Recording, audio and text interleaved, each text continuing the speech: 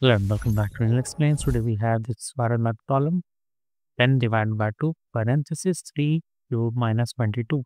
Okay. So this is a simple math. So we'll try to solve it in 10 seconds. Your time start now.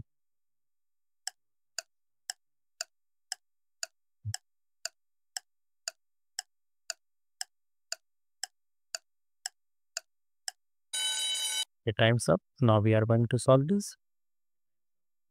Here we will solve with the help of order of operations PEMDAS, which is first will be parentheses, exponent, multiplication, division, addition, and subtraction. While multiplication division has the same priority and also addition subtraction also have the same priority. And here we will solve this parenthesis part first.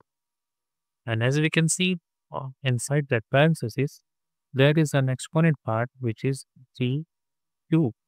And this can be written as 3 times 3 times 3 and 3 times 3 this will give result where 9 times 3 and 9 times 3 this will be 27 so 27 can be written as here big 2 so we will rewrite our expression as 10 divided by 2 parenthesis 27 minus 22 now we will do this parenthesis operation 27 minus 22 will give result like 5. So we will write 10 divided by 2 times 5. Now 10 divided by 5 times 2 is equal to 10 and 10 divided by 10 this will be 1.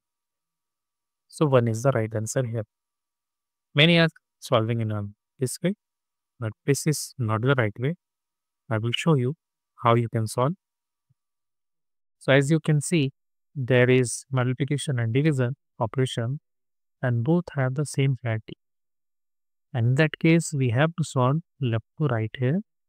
So we have to solve left to right here, not right to left. So first we have to solve this division, which is 10 divided by 2. And this will give result here 5. So we will repeat this multiplication